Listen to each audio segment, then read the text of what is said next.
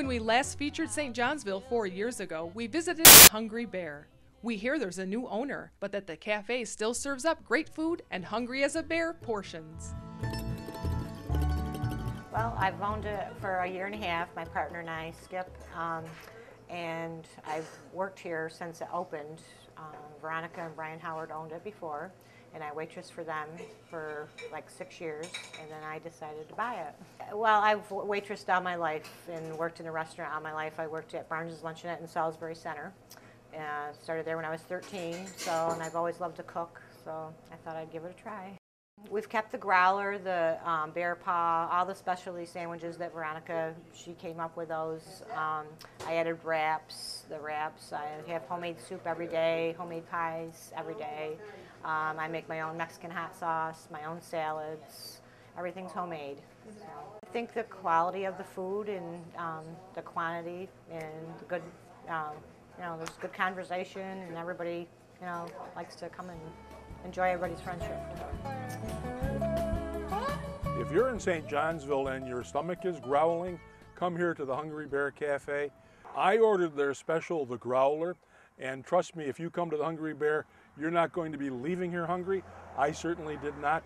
To top it off, I had the seasonal treat, strawberry rhubarb pie, and it looked to me like it was a quarter of the pie. It was huge, and all the servings here are it, I guess, is appropriate to take care of a bear's appetite.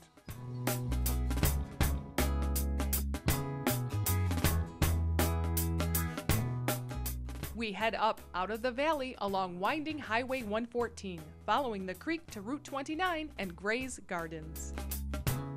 It's safe to say that there isn't a mother on earth who doesn't love flowers for Mother's Day. We're at Gray Gardens and I'm holding what was my mother's favorite flowers, these beautiful beautiful pansies. Here at Gray's Garden, there are three greenhouses filled with very colorful flowers. And then if you come back in the summertime, there's a stand out front where they sell their own homegrown vegetables.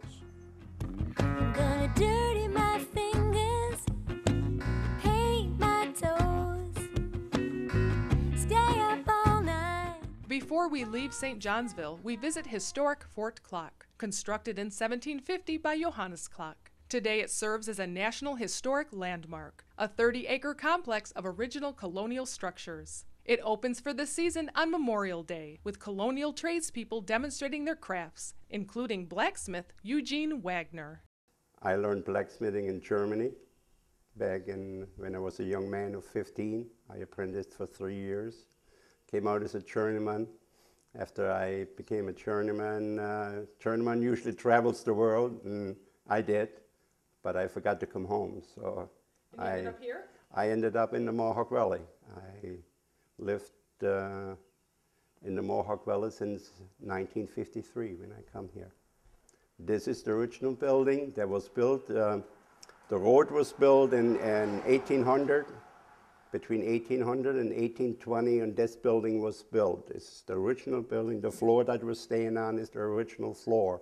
The wooden one's been replaced because that's for shoeing horses. The forges are limestone forges.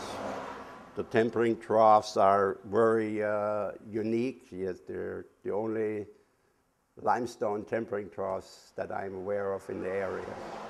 So I still do uh, school programs every summer. Uh, that is my main interest in blacksmithing right now. What do you like most? Oh, they, they love when I let them twist steel. They love when you when you make a fire and you bring hot steel out. That is exciting, you know.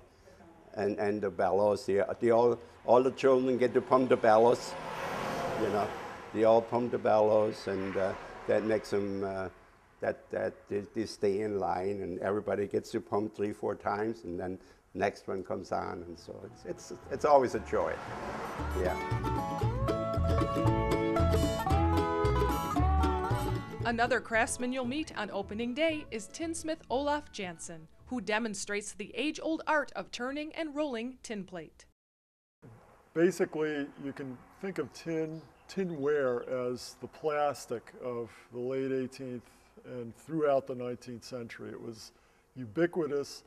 Interestingly, there's not a whole lot of it around, uh, original material around anymore because like the plastic of today, it was rather expendable. Uh, it didn't last forever.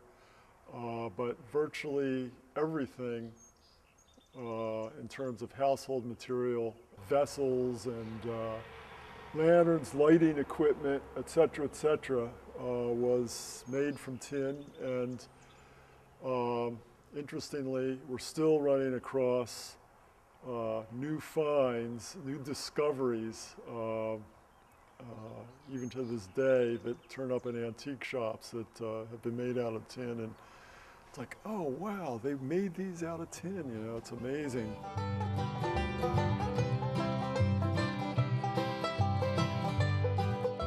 My favorite holiday is just around the corner, Memorial Day. Now, if you haven't made your plans for your Memorial Day, you may want to uh, take a ride down here to Fort Klock and get a taste of colonial days. There'll be all kinds of craftspeople here, including the tinsmith and the blacksmith that we just met, and you can even see one of these being made.